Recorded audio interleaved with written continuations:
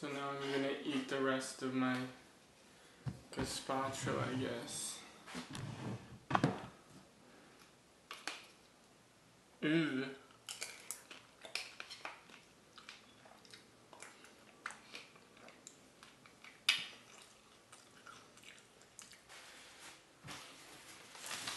I spilled tomato gazpacho all over my pants and it splattered all over the floor.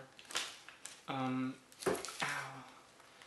And it was disgusting and it ran all down my legs and I was completely soaking with this weird gazpacho that I, I bought a um, prepared food because I didn't feel like cooking.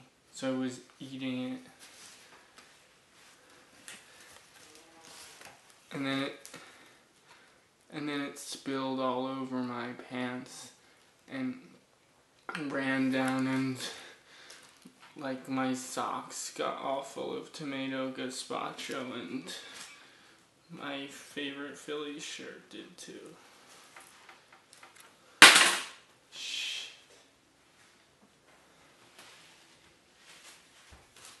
And it splattered all over the wall. I don't know how it got to be all the way up there, but it was all like over everything.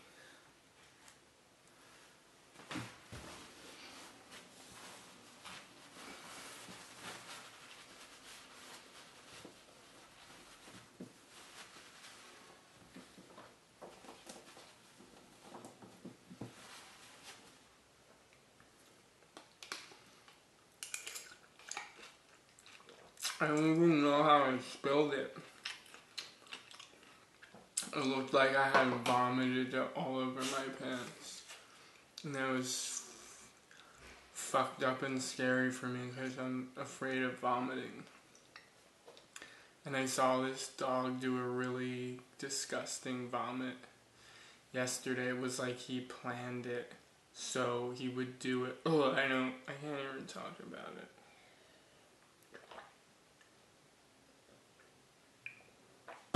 I think I spilled it because I was reaching for this baguette to dip in it.